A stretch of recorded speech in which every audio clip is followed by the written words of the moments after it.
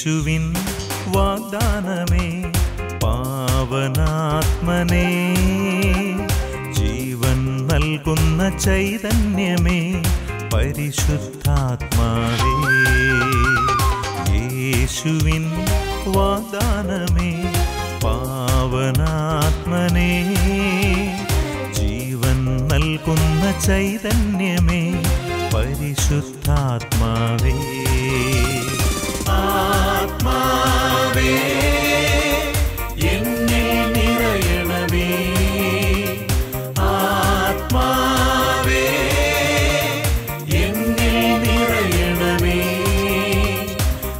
അഭിഷേകത്തിൻ നിറവായി മാറ്റണമേ. അഭിഷേകത്തിൻ നിറവായി മാറ്റണമേ.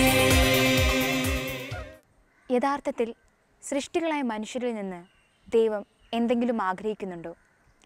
ആഗ്രഹിക്കുന്നുണ്ടെങ്കിൽ അതെപ്രകാരം ലഭിക്കണമെന്നാണ് അവിടുന്ന് പ്രതീക്ഷിക്കുന്നത്. ഈ ലോകത്ത് ജീവിക്കുന്ന നാം എത്രമാത്രം ഗൗരവത്തോടു കൂടിയാണ് ഈ ലോകത്തെ കാണേണ്ടത്? ദൈവത്തിന് കൊടുക്കേണ്ടത് കൊടുക്കുവാൻ നമുക്ക് സാധിക്കാതെ പോകുന്നത് എന്തുകൊണ്ടാണ്? ഈ ചോദ്യങ്ങൾക്കുള്ള ഉത്തരം ഇന്നത്തെ ഷെമ ഇസ്രായേലിലൂടെ പരിശുദ്ധാത്മാവ് നമ്മോട് സംസാരിക്കുന്നു. നമുക്കായി വചന സന്ദേശം നൽകുന്നത് കാരീസ് ഭവനിലെ അനീഷ് മുണ്ട്യാനിക്കൽ അച്ഛനാണ്.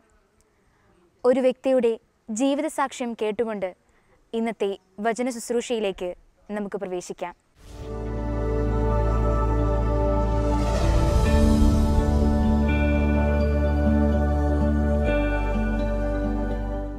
എന്റെ പേര് ആനി വീട് കൈപ്പുഴ. എന്റെ സഹോദരന് വേണ്ടിയിട്ടാണ് ഞാൻ സാക്ഷ്യം പറയുന്നത്. എന്റെ സഹോദരന് ചുമയും ശ്വാസം മുട്ടലും കൂടി ഓക്സിജന്റെ അളവ് കുറഞ്ഞ് ഹോസ്പിറ്റലിൽ അഡ്മിറ്റായിരുന്നു പെട്ടെന്ന് തന്നെ ഞാൻ കാരീസ്പനിൽ സാക്ഷ്യപ്പെടുത്തിയേക്കാമെന്ന് നേർന്ന് പ്രാർത്ഥിച്ചതിന്റെ ഫലമായി പെട്ടെന്ന് അമൃത ഹോസ്പിറ്റലിലേക്ക് കൊണ്ടുപോവുകയും ഒരു മണിക്കൂറിനകം ഓക്സിജന്റെ അളവ് കൂടുകയും ചെയ്തു. യേശുവേ നന്ദി. യേശുവേ സ്തുതി.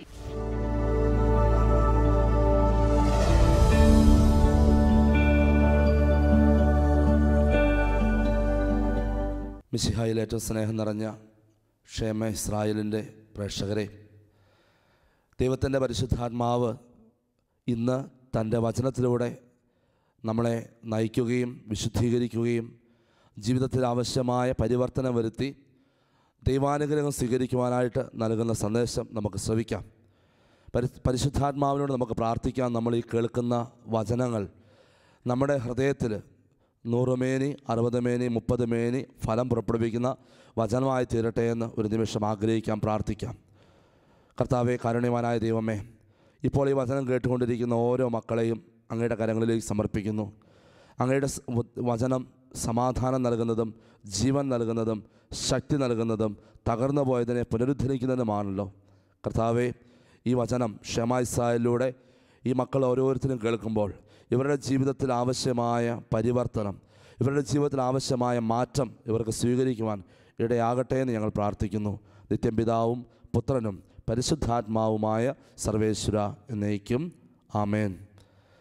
വിശേഷ സ്നേഹമുള്ളവരെ വിശുദ്ധ മർക്കോസിന്റെ സുവിശേഷം പന്ത്രണ്ടാമത്തെ അധ്യായം പതിമൂന്ന് മുതൽ പതിനേഴ് വരെയുള്ള വചനങ്ങളിൽ നമ്മൾ ഇപ്രകാരം വായിക്കുന്നുണ്ട്.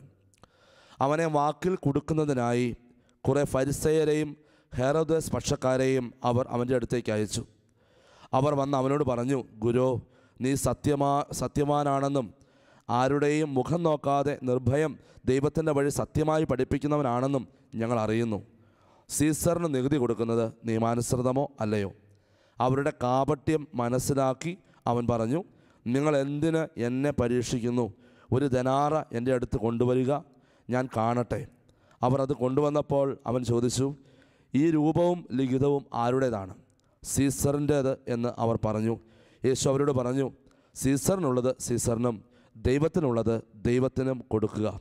അവർ അവനെക്കുറിച്ച് വിസ്മയിച്ചു. വിശേഷ സ്നേഹം നിറഞ്ഞവരെ കർത്താവായ യേശു തന്റെ പരസ്യ ജീവിതകാലത്ത് ഭൂമിയിൽ യാത്ര ചെയ്യുമ്പോൾ കടന്നു പോകേണ്ടി വന്ന പരീക്ഷണങ്ങളിൽ പലതിൽ ഒന്നാണ് നമ്മളിന്ന് വായിച്ചു കേട്ട സുവിശേഷ ഭാഗം. ദൈവത്തിന്റെ ആത്മാവ് ഈ സുവിശേഷ ഭാഗത്തിലൂടെ ഒത്തിരിയേറെ കാര്യങ്ങൾ നമ്മളെ ഓരോരുത്തരെയും പഠിപ്പിക്കുന്നുണ്ട്. ഈ ലോകത്തിലൂടെ കടന്നു പോകുമ്പോൾ പലപ്പോഴും പലരും ചിന്തിക്കുന്ന ഒരു കാര്യമാണ്. ദൈവത്തിന് എത്രമാത്രം സ്ഥാനം കൊടുക്കണം? സഹോദരങ്ങൾക്ക് എത്രമാത്രം സ്ഥാനം കൊടുക്കണം? ഈ രണ്ടിലും അധിഷ്ഠിതമാണല്ലോ നമ്മുടെ ജീവിതം. നമ്മൾ കാണപ്പെടാത്ത ദൈവവും കാണപ്പെടുന്ന സഹോദരനും ചുറ്റിനും നിൽക്കുമ്പോൾ സഹോദരങ്ങൾക്കും ഈ ലോകത്തിനുമൊക്കെ സ്നേഹം. കാരണം നമ്മളത് കാണുന്നത് കൊണ്ട് സ്നേഹം കൊടുക്കുകയും അവരുമായിട്ട് നല്ല ബന്ധം സ്ഥാപിക്കുകയും അതിനുവേണ്ടി ഒരുപക്ഷെ ദൈവികമായ കാര്യങ്ങളെ അല്പസ്വല്പം മാറ്റി നിർത്തുകയും ഒക്കെ ചെയ്യുന്ന ഒത്തിരിയേറെ ആളുകൾ നമ്മുടെ കൂട്ടത്തിലുണ്ട് അല്ലെങ്കിൽ നമ്മൾ ഓരോരുത്തരിലുമുണ്ട്. ഇവിടെയാണ് കർത്താവ് ഇങ്ങനൊരു പരീക്ഷണത്തിലൂടെ കടന്നു പോകേണ്ടി വരുന്ന ഓരോ വ്യക്തികളോടും ഇന്ന് നമ്മളോട് സംസാരിക്കുകയാണ്. ഈശോയുടെ അടുത്തേക്ക് ഈശോയെ പരീക്ഷിക്കാൻ വേണ്ടിയാണ് ഈ ഫരിസേനും അതുപോലെ തന്നെ ഹെറദ സ്പർശക്കാരായിട്ടുള്ള ആളുകളും വരുന്നത്. തീർച്ചയായിട്ടും ഫരിസേര് യഹൂദന്മാരിലെ പ്രധാനികളാണ് അതുകൊണ്ട് യഹൂദ നിയമം കർശനമായിട്ട് അനുസരിക്കുന്ന വ്യക്തികളാണ്. ഹെറോദസ് പക്ഷക്കാരെന്ന് പറയുമ്പോൾ അവർ റോമ ഗവൺമെന്റിന്റെ പ്രതിനിധിയായ ഹെറോദസിന്റെ ആളുകളാണ്. എന്ന് പറഞ്ഞാൽ റോമ ഗവൺമെന്റുമായിട്ട് ഒത്തിരിയേറെ താല്പര്യമുള്ളവരും റോമൻ ഭരണകൂടത്തെ അംഗീകരിക്കുന്നവരും.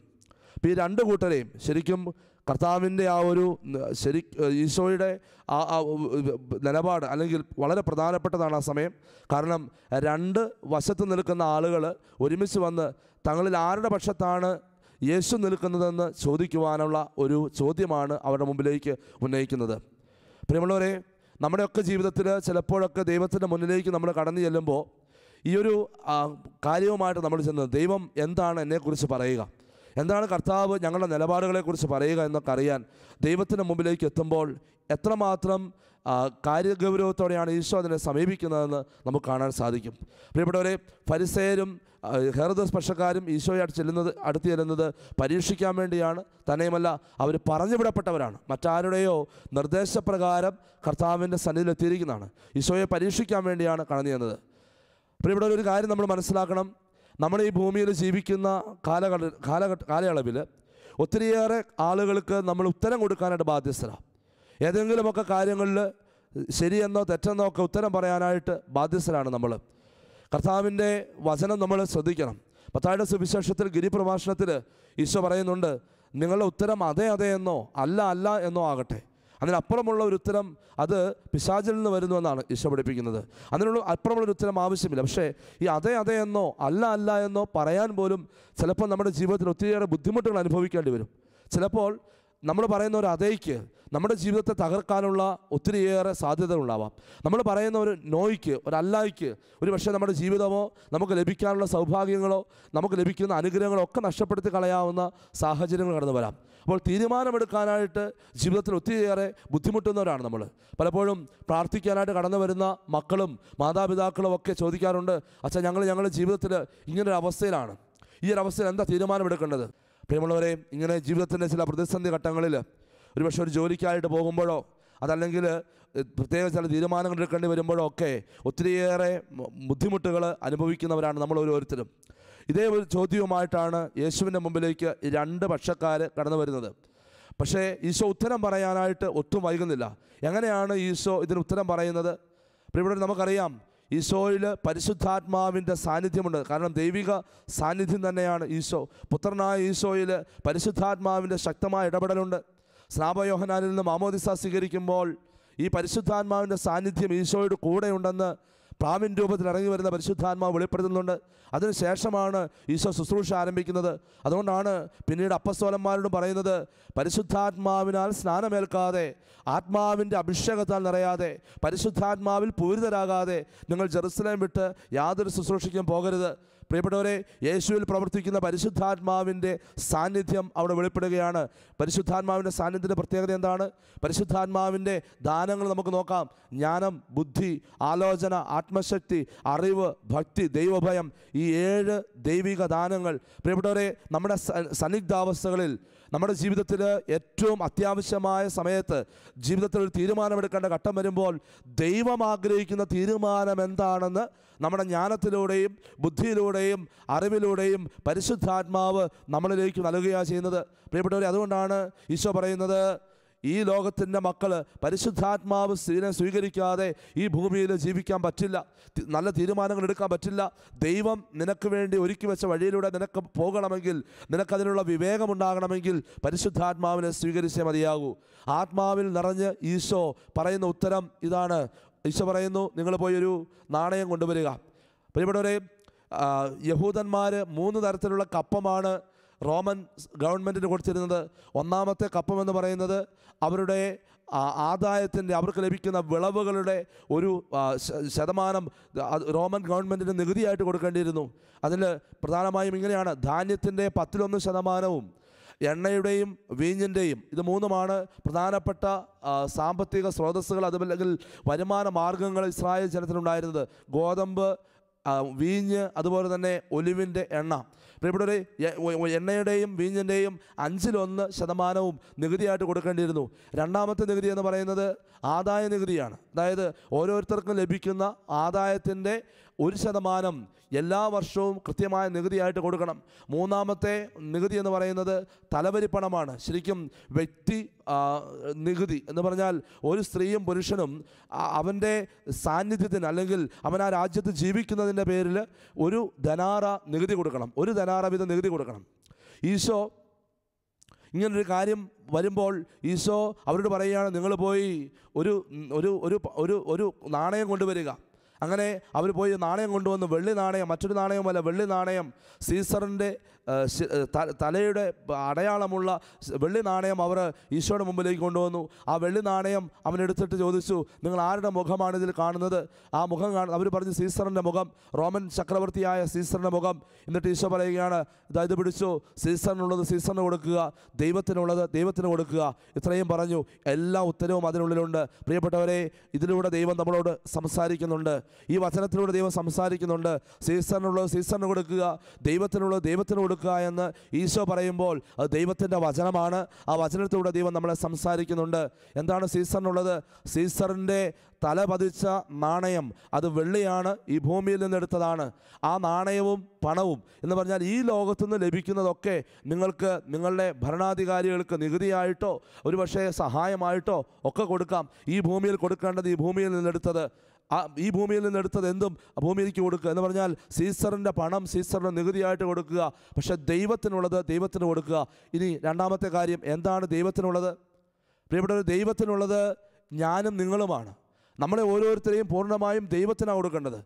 നമ്മളെ നമ്മളെ നമ്മൾ മറ്റാർക്കും അടിയറ വയ്ക്കാൻ പാടില്ല. ഏതെങ്കിലും സമ്പത്തിനോ സ്ഥാനമാനങ്ങൾക്കോ മദ്യത്തിനോ മയക്കുമരുന്നിനോ ലഹരിക്കോ ഏതെങ്കിലും ഒരു വ്യക്തിയുടെ ഇഷ്ടങ്ങൾക്കോ ഇഷ്ടാനിഷ്ടങ്ങൾക്കോ അടിമത്തം കൊടുക്കേണ്ടവരല്ല ഞാനും നിങ്ങളും. ഒരു മനുഷ്യൻ ഒരു ഒരു ഒരു കാര്യത്തിലും മറ്റൊരു വ്യക്തിയുടെ അടിമയായി മാറാൻ പാടില്ല. മറ്റൊരു വസ്തുവിന്റെ അടിമയായി മാറാൻ പാടില്ല. ഏതെങ്കിലും സ്ഥാപനങ്ങളുടെ അടിമയായി മാറാൻ പാടില്ല. ഇന്ന് പലപ്പോഴും നമുക്ക് കാണാൻ സാധിക്കുന്ന കാര്യം ഇതാണ്.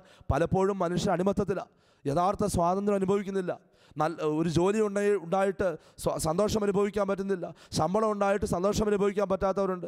കുടുംബജീവിതം നയിക്കുന്നവരിൽ എത്രയോ പേര് സന്തോഷം അനുഭവിക്കാൻ പറ്റാത്തവരുണ്ട്. സന്യസ്ത ജീവിതം നയിക്കുന്നത് പൗരോഹിത്യ ജീവിതം നയിക്കുന്നവരിൽ ഒത്തിരി പേരും സന്തോഷം അനുഭവിക്കുന്നില്ല. എന്താണ് സന്തോഷം അനുഭവിക്കാത്തത്? സന്തോഷം അനുഭവിക്കാത്ത വ്യക്തികളൊക്കെ അടിമത്തത്തിലാണ്. ആരുടെയൊക്കെ അടിമത്തത്തിൽ യഥാർത്ഥത്തിൽ നമ്മളെ വിളിച്ചിരിക്കുന്നത് കർത്താവ് വിളിച്ചിരിക്കുന്നത് സ്വാതന്ത്ര്യത്തിലേക്കാണ്.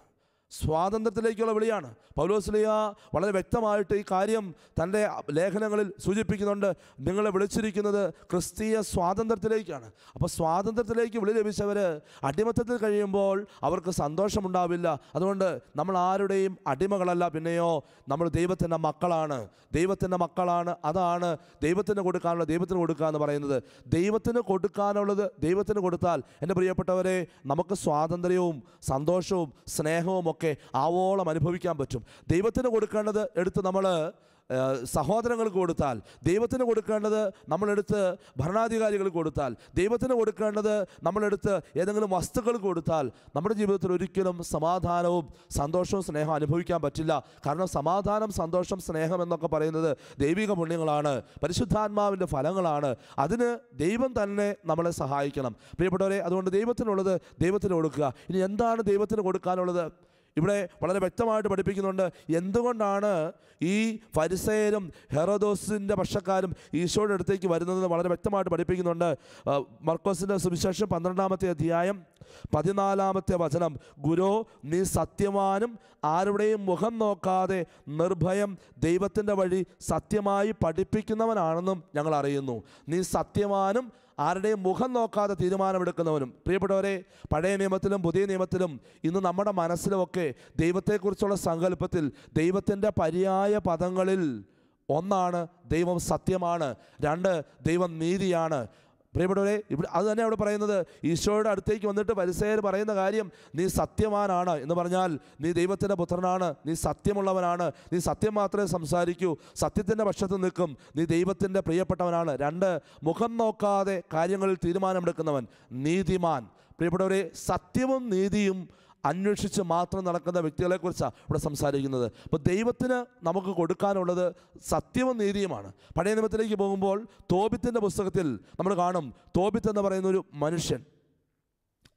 പ്രിയപ്പെട്ട ഒരു ബാബിലോൺ പ്രവാസത്തിന് ശേഷം ഇസ്രായേൽ ജനം വീണ്ടും യഹൂദ യൂതയായിലേക്ക് തിരിച്ചു വന്നു. അവർ ദേവാലയം പണി ആരംഭിക്കുവാനായിട്ട് ചട്ടവട്ടങ്ങളൊക്കെ ഒരു സ്വരുക്കൂട്ടുന്നത് എസ്രാ നെഹമിയ പ്രവാചകന്മാരുടെ പുസ്തകത്തിൽ നമ്മൾ വായിക്കുന്നുണ്ട്. ആ സമയത്തിന് ശേഷം ജീവിച്ചിരുന്ന ഒരു വ്യക്തിയാണ് തോബിത്ത് എന്ന് പറയപ്പെടുന്നു. ആ തോബിത്തിന്റെ പുസ്തകത്തിൽ ഇപ്രകാരം നമ്മൾ കാണുന്നുണ്ട്. തോബിത്ത് ഭയ ഒത്തിരിയേറെ സൽഗുണ സമ്പന്ന സമ്പന്നനായ ഒരു വ്യക്തിയായിരുന്നു. സൽഗുണ സമ്പന്നൻ എന്ന് പറഞ്ഞാൽ മാത്രം പോരാ. ദൈവത്തെയും മനുഷ്യരെയും ഒരുപോലെ സ്നേഹിച്ചിരുന്ന വ്യക്തി. ദൈവ സ്നേഹ ദൈവസ്നേഹം പ്രകടിപ്പിക്കാനായി ദൈവകൽപ്പന അക്ഷരം പ്രതിപാലിച്ചിരുന്ന വ്യക്തി. അതുപോലെ തന്നെ സഹോദരങ്ങളെ സ്നേഹിച്ചിരുന്ന വ്യക്തി. പലപ്പോഴും നമ്മൾ കാണുന്നുണ്ട് ഈ മനുഷ്യന്റെ ദൈവസ്നേഹത്തെ നമുക്ക് ഒത്തിരിയേറെ ബൈബിളിൽ വായിക്കാൻ പറ്റും. അതിൽ ഏറ്റവും പ്രധാനപ്പെട്ടത് പ്രിയപ്പെട്ടവർ ഈ മനുഷ്യൻ ഇങ്ങനെ ഈ യൂതായിൽ നിന്നും നിനിവയിലേക്ക് നാട് കടത്തപ്പെടുമ്പോൾ മിനിമയിൽ ചെന്ന് ജോലി ചെയ്ത് ജീവിക്കുമ്പോൾ മറ്റുള്ളവരെല്ലാവരും നിഷിദ്ധമായ ഭക്ഷണ സാ പാനീയങ്ങൾ സ്വീകരിക്കുമ്പോൾ ഈ മനുഷ്യൻ മാത്രം അന്യനാട്ടിൽ പട്ടിണി കിടക്കുകയും അതുപോലെ തന്നെ ദൈവത്തെ പ്രതി ദൈവവചനത്തെ പ്രതി തീരുമാനങ്ങളെടുത്ത് ഉപവസിക്കുകയും പ്രാർത്ഥിക്കുകയോ ചെയ്യുന്ന കാണാൻ പറ്റും. അക്ഷരം പ്രതി ദൈവവചനം അനുസരിച്ചിരിക്കുന്ന വ്യക്തി അനുസരിച്ചിരുന്ന വ്യക്തിയാണ് തോബിത്ത്. പ്രിയപ്പെട്ടവർ ദൈവത്തെ സ്നേഹിക്കുന്ന വ്യക്തി ദൈവത്തിന്റെ കൽപ്പന പാലിക്കും. യോഹനാന്റെ സുവിശേഷം പതിനാലാമത്തെ അധ്യായത്തിൽ ഈശോ വെളിപ്പെടുന്നുണ്ട് എന്നെ സ്നേഹിക്കുന്നവൻ എന്റെ കൽപ്പന പാലിക്കുകയും ഞാനും എന്റെ പിതാവും വന്ന് അവനിൽ വസിക്കുകയും ചെയ്യും. പ്രിയപ്പെട്ടവരെ ദൈവത്തിന്റെ ദൈവത്തെ സ്നേഹിക്കുന്നവൻ കൽപ്പന പാലിക്കും. അങ്ങനെ ഒരു വ്യക്തിയായിരുന്നു തോബിത്ത് എന്ന് പറഞ്ഞാൽ സത്യസന്ധൻ കൽപ്പനകൾ പാലിക്കുന്നതിൽ സത്യസന്ധൻ നീതിമാൻ ദൈവത്തോട് നീതി കാണിച്ചവൻ. അതുപോലെ തന്നെ സഹോദരങ്ങളോടും വീണ്ടും നമ്മൾ കാണുന്നുണ്ട്. തോപ്പിത്തിന്റെ പുസ്തകത്തിൽ നമുക്ക് കാണാൻ സാധിക്കും. ഈ മനുഷ്യൻ നിനിമയിൽ നിന്നും തിരികെ വരുമ്പോൾ അവന്റെ വീട്ടിൽ ഭാര്യയും മക്കളും കൂടി വലിയൊരു വിരുന്നൊരുക്കും. ആ വിരുന്നിന് ഭക്ഷിക്കാനിരിക്കുന്നതിന് തൊട്ട് മുമ്പ് മകൻ ഒരു മകൻ വന്ന് പറയുകയാണ് ചന്തസ്ഥലത്ത് ഒരു യഹൂദനെ ആരോ കൊന്നിട്ടിരിക്കുന്നു. പ്രിയപ്പെട്ടവർ ഈ മനുഷ്യന്റെ ഉള്ളിലെ സഹോദര സ്നേഹം ഉണരുകയാണ്. ഭക്ഷണം കഴിക്കാനിരുന്ന ഇയാൾ എഴുന്നേറ്റ് അവിടെ നിന്ന് ഓടി ചന്തസ്ഥലത്തേക്ക് പോയി. കാരണം ഇദ്ദേഹത്തിന്റെ ഒരു സ്വഭാവമുണ്ട്. അങ്ങനെ മരണ മരിച്ചു കിടക്കുന്ന ആളുകളെ മറവ് ചെയ്യുക എന്നുള്ള ഒരു വലിയ പരസ്നേഹ പ്രവൃത്തി ചെയ്യുന്ന വ്യക്തിയാണ്. അതുപോലെ അതുപോലെ ഒരുപാട് കാര്യങ്ങൾ സഹോദര സ്നേഹത്തിന് വേണ്ടി ചെയ്യുന്ന വ്യക്തി. ഈ ഭക്ഷണ മേശയിൽ നിന്നും ഇയാൾ എഴുന്നേറ്റ് പോയി. അവിടെ പോയി ഈ സഹോദരനെ മറവ് ചെയ്ത് തിരികെ വന്നപ്പോഴത്തേക്കും രാത്രി വൈകി.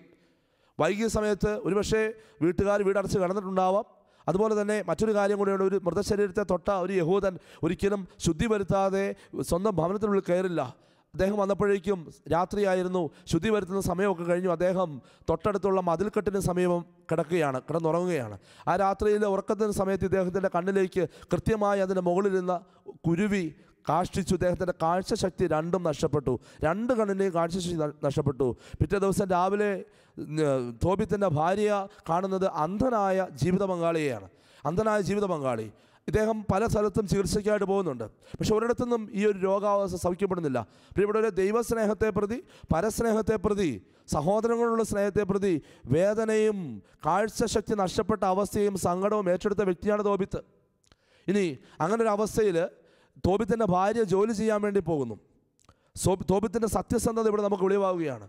തോബിത്തിന്റെ ഭാര്യ ജോലി ചെയ്യാൻ പോകുന്ന വീട് വീടാന്തരം കയറി ഇറങ്ങി അവൾക്കറിയാവുന്ന ജോലികൾ അവൾ ചെയ്യുന്നു. ഒരു ദിവസം തോബിത്ത് ശ്രദ്ധിക്കുന്നു. വൈകുന്നേരമായപ്പോൾ തോബിത്തിന്റെ ഭാര്യ വീട്ടിൽ വരുന്ന സമയത്ത് ഒരു ആട്ടിൻകുട്ടിയുടെ കരച്ചിൽ കേൾക്കുന്നു. തോബിത്ത് ചോദിക്കുന്നു ഇത് എവിടുന്ന ഈ ആട്ടിൻകുട്ടി? അപ്പോൾ തോബിത്തിന്റെ ഭാര്യ പറഞ്ഞു ഇത് ഞാൻ ജോലിക്ക് പോയ വീട്ടിൽ നിന്ന് എനിക്ക് ദാനമായി തന്നതാണ്. തോബിത്ത് പറയുന്നത് നീ നുണ പറയുകയാണ്. അങ്ങനെ ആരും കൊടുക്കുകയല്ല. അങ്ങനെ ആരും ഒരു ആട്ടിൻകുട്ടിയെ കൊടുക്കുകയല്ല. ഇത് നീ നുണ പറയുന്നതാണ്. നീ അവിടുന്ന് മോഷിച്ചുകൊണ്ട് വന്നതാണ് തോബിത്തിന്റെ ഭാര്യ വീണ്ടും പറയുന്നുണ്ട് ഞാൻ അങ്ങനെയല്ല. ഞാനത് എനിക്ക് അവർ ദാനമായിട്ട് തന്നതാ. തോബിത്ത് പറയുന്നു അല്ല നീ മോഷ്ടിച്ചതാണ്. മോഷ്ടിച്ചത് തിരികെ കൊണ്ട് കൊടുക്കുക. എന്റെ പ്രിയപ്പെട്ടവരെ കഷ്ടപ്പാടിന്റെയും പട്ടിണിയുടെയും ഒക്കെ നടുവിലൂടെ പോകുമ്പോൾ ജോലി ചെയ്യാനായിട്ട് പോയ ഭാര്യയ്ക്ക് ആരോ കനിവ് കൊണ്ട് നൽകിയ ഒരു ആട്ടിൻകുട്ടിയെ പോലും അത് മോഷ്ടിച്ചതാണോ എന്ന് തിരിച്ചറിയാൻ പറ്റാത്തത് കൊണ്ട് സ്വീകരിക്കാൻ പറ്റാതെ അത്രമാത്രം സത്യസന്ധനായ തോബിത്തിനെ നമ്മൾ കാണിക്കുക കാണുകയാണ്. പ്രിയപ്പെട്ടവരെ ഇതാണ് വചനം പഠിപ്പിക്കുന്ന ദൈവത്തിന്റെ ഛായയും സാദൃശ്യവും ആവുക എന്ന് പറയും ദൈവത്തിന് കൊടുക്കാനുള്ളത് കൊടുക്കുക. തോബിത്ത് ദൈവത്തിന് കൊടുക്കാനുള്ളതൊക്കെ കൊടുത്തു.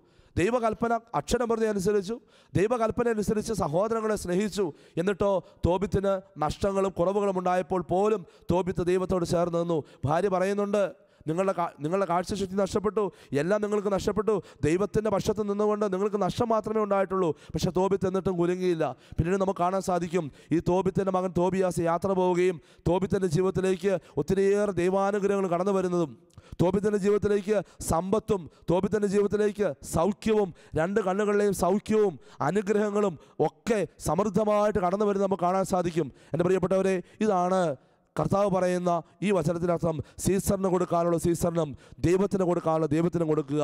ദൈവത്തിന് കൊടുക്കാനുള്ള ദൈവത്തിന് കൊടുക്കുക. സീസറിന് കൊടുക്കാനുള്ള സീസറിന് കൊടുക്കുക. പ്രിയപ്പെട്ടവരെ അതുകൊണ്ട് ഒരിക്കലും നമ്മുടെ ജീവിതത്തിൽ തിരിച്ചറിയാൻ പാടില്ലാതെ പോകരുത്.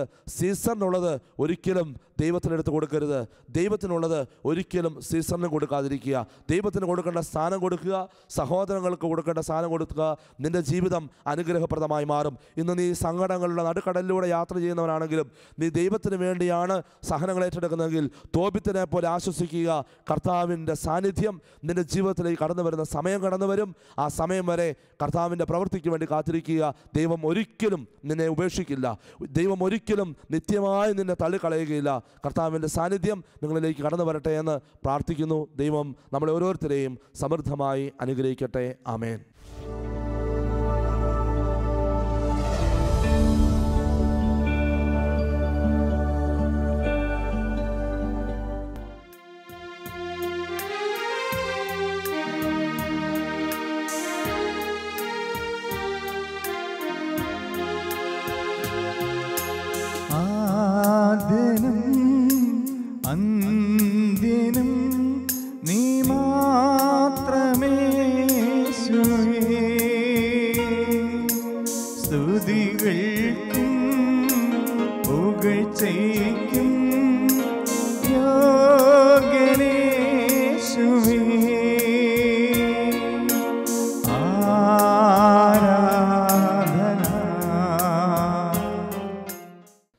വിശാൽ സ്നേഹമുള്ളവരെ ദൈവം നൽകിയ ജീവിതത്തിന് നന്ദി പറഞ്ഞ് പ്രാർത്ഥിക്കേണ്ടവരാണ് നമ്മൾ ദൈവം എന്നെയും നിങ്ങളെയും മനുഷ്യരായി സൃഷ്ടിച്ച് തന്റെ ഛായയും സാദൃശ്യവും നൽകി പരിപാലിച്ചുകൊണ്ടിരിക്കുന്നു. പ്രിയമുള്ളവരെ കർത്താവിന് കൊടുക്കാനുള്ളത് കർത്താവിന് കൊടുക്കണം. ദൈവത്തെ സ്നേഹിക്കണം. വചനം പഠിപ്പിക്കുന്നത് പോലെ പൂർണ ഹൃദയത്തോടും പൂർണാത്മാവോടും പൂർണ ശക്തിയോടും കൂടെ ദൈവത്തെ സ്നേഹിക്കാൻ നമുക്കാവണം. നമുക്കങ്ങനെ സ്നേഹിച്ചുകൊണ്ട് ഈ ദിവ്യകാരന്റെ നാഥന്റെ മുമ്പിലേക്ക് നമ്മളെ തന്നെ സമർപ്പിക്കാം. സീസറിനുള്ളത് സീസറിനും ദൈവത്തിനുള്ളത് ദൈവത്തിനും കൊടുക്കുക. പ്രിയപ്പെട്ടവർ ഈ ലോകത്തിന്റേതായിട്ടുള്ളത് ലോകത്തിലുള്ളവർക്ക് കൊടുക്കുക. ദൈവം നമുക്ക് നൽകിയ സ്നേഹം അതിന്റെ പൂർണതയിൽ ദൈവത്തിന് തിരിച്ചു കൊടുക്കുക. നമ്മുടെയൊക്കെ ജീവിതത്തിൽ പലപ്പോഴും തകർച്ചയ്ക്ക് കാരണമാകുന്നത് ദൈവത്തിനുള്ളത് ദൈവത്തിന് കൊടുക്കാതെ അത് സീസറിന് കൊടുക്കുന്നത് കൊണ്ട്. സീസറിനുള്ളത് ദൈവത്തിന് കൊടുക്കുന്നത് കൊണ്ടാണ് പ്രിയമുള്ളവരെ നമുക്ക് തീരുമാനമെടുക്കാം. കർത്താവിനെ സ്നേഹിക്കാം. കർത്താവിനെ ആരാധിക്കാം. ആരാധനയും സ്തുതിയും പുകഴ്ചയുമാണ് ദൈവം നമ്മളിൽ നിന്ന് ആഗ്രഹിക്കുന്നത്. അത് ദൈവത്തിനുള്ളതാണ്. ദൈവത്തിന് കൊടുക്കുക. രണ്ട് കരങ്ങളും നിങ്ങളിപ്പോൾ ഉയർത്തി പിടിച്ചുകൊണ്ട് സ്തുതിച്ച് പ്രാർത്ഥിക്കാൻ സാധിക്കുന്നവരെ സ്തുതിച്ച് പ്രാർത്ഥിക്കട്ടെ. വലിയ അനുഗ്രഹം നിങ്ങളുടെ കുടുംബങ്ങളിലേക്ക് കടന്നു വരട്ടെ ദൈവത്തെ സ്തുതിച്ച് ആരാധിക്കട്ടെ. കർത്താവിനെ സ്തുതിച്ച് ആരാധിക്കട്ടെ. ഈശോയെ അങ്ങേ ആരാധിക്കുന്ന ഓരോ മക്കളെയും അനുഗ്രഹിക്കണമേ. ഇവരുടെ കുടുംബങ്ങളിലേക്ക് അനുഗ്രഹത്തിന്റെ പെരുമഴ നൽകണമേ എന്ന് പ്രാർത്ഥിക്കുന്നു. ഈശോയെ അങ്ങാണല്ലോ അല്ല ചെയ്തത്. സീസറിനുള്ളത് സീസറിനും ദൈവത്തിനുള്ളത് ദൈവത്തിനും കൊടുക്കുക. ഇവർക്ക് ആ ഈ മക്കളുടെ കുടുംബത്തിലേക്ക് ആ ആവശ്യമായ എല്ലാ അനുഗ്രഹങ്ങളും വർഷിക്കണമേ എന്ന് പ്രാർത്ഥിക്കുന്നു. ഹലലുയ്യ ഹലലുയ്യ കരങ്ങൾ ഉയർത്തി സ്തുതിച്ച് പ്രാർത്ഥിക്കുന്നു. എല്ലാ കെട്ടുകളും അഴിയട്ടെ. ഈ ഭവനത്തിന്റെ മേലുള്ള എല്ലാ തിന്മയുടെ സ്വാധീനങ്ങളും മാറിപ്പോകട്ടെ. കർത്താവെ പലപ്പോഴും ഞങ്ങളുടെ ജീവിതത്തിൽ തെറ്റുകൾ പറ്റിപ്പോകുന്നു. ഞങ്ങൾ പലപ്പോഴും ദൈവത്തെ ആരാധിക്കേണ്ടതിന് പകരം മറ്റു പല വഴികളിലൂടെയും കടന്നു പോകുന്നു. ദൈവത്തിന് കൊടുക്കേണ്ട സ്നേഹം ദൈവത്തിന് കൊടുക്കേണ്ട ദൈവത്തിന് കൊടുക്കേണ്ട സ്തുതി ദൈവത്തിന് കൊടുക്കേണ്ട ആരാധന ചിലപ്പോൾ മനുഷ്യർക്ക് കൊടുക്കുന്ന വ്യക്തികളുണ്ടാവാം. കർത്താവെ അവരെയൊക്കെ അങ്ങ് മോചിപ്പിക്കണമേ. ദൈവസ്നേഹം യഥാർത്ഥത്തിൽ അനുഭവിച്ചറിയുവാൻ ഈ മക്കളെ സഹായിക്കണമേ. ഹലലുയ്യ ഹലലുയ്യ ഹലലുയ്യ ഹലലുയ്യ ഹലലുയ്യ ഹലലുയ്യ പ്രിയമുള്ളവരെ ഒരു നിമിഷം നമുക്ക് കണ്ണുകളടച്ച് ഇരു കരങ്ങളും ഹൃദയത്തോട് ചേർത്ത് പിടിക്കാം. ഒന്ന് മനസ്സിൽ നമുക്ക് തീരുമാനമെടുക്കാം. ഞാൻ എന്താണ് എന്റെ ദൈവത്തിന് കൊടുക്കുന്നത്? ഈ ഭൂമിയിൽ ദൈവം എനിക്ക് തന്ന ഈ ജീവിതത്തിന് പ്രതിഫലമായി മറ്റൊന്നും എനിക്ക് കൊടുക്കാനില്ല. എന്റെ ജീവൻ ഒഴിച്ച്. അതുകൊണ്ട് പൂർണ ഹൃദയത്തോടെ ദൈവത്തെ സ്നേഹിക്കാൻ തീരുമാനമെടുക്കാം. സ്നേഹിക്കുന്ന വ്യക്തി പൂർണമായും പങ്കുവയ്ക്കുന്നവനായിരിക്കണം. പങ്കുവയ്ക്കുന്നവളായിരിക്കണം. കർത്താവിന് വേണ്ടി നമുക്ക് നല്ല തീരുമാനങ്ങളെടുക്കാം ദൈവത്തിന് വേണ്ടി ജീവിക്കുവാൻ കർത്താവിന് വേണ്ടി പ്രവർത്തിക്കുവാൻ തീരുമാനമെടുക്കാം. കർത്താവെ തീരുമാനമെടുക്കുന്ന ഓരോ മക്കളെയും അങ്ങയുടെ കൃപയാൽ അനുഗ്രഹത്താൽ നിറയ്ക്കണമേ എന്ന് പ്രാർത്ഥിക്കുന്നു. കർത്താവ് ഈ കുടുംബങ്ങളെ സമർപ്പിക്കുന്നു. ഇപ്പോൾ ഈ ശുശ്രൂഷയിൽ സംബന്ധിച്ചുകൊണ്ടിരിക്കുന്ന ഈ മക്കളിലൂടെ ഇവരുടെ കുടുംബങ്ങളിൽ പ്രവർത്തിക്കണമേ. മറ്റ് സ്ഥലങ്ങളിൽ ജോലി ചെയ്യുന്നവർ ഏതെങ്കിലും ആശുപത്രിയിൽ കഴിയുന്നവർ രോഗാവസ്ഥയിൽ കടന്നു പോകുന്നവർ ഇപ്പോൾ ഈ നിമിഷം തീരുമാനമെടുത്ത് പ്രാർത്ഥിക്കുന്ന ഈ നിമിഷം ആ മക്കളുടെ കുടുംബങ്ങളെ അവരുടെ ജീവിതത്തെ അനുഗ്രഹിക്കണമേ. രോഗസൗഖ്യങ്ങൾ അത്ഭുത വിടുതലുകൾ അത്ഭുത രോഗശാന്തികൾ ഈ മക്കളുടെ ജീവിതത്തിൽ സംഭവിക്കട്ടെ എന്ന് പ്രാർത്ഥിക്കുന്നു. ഇപ്പോഴും എപ്പോഴും എന്നേക്കും. ആമേൻ. പരമകാരുണ്യമേ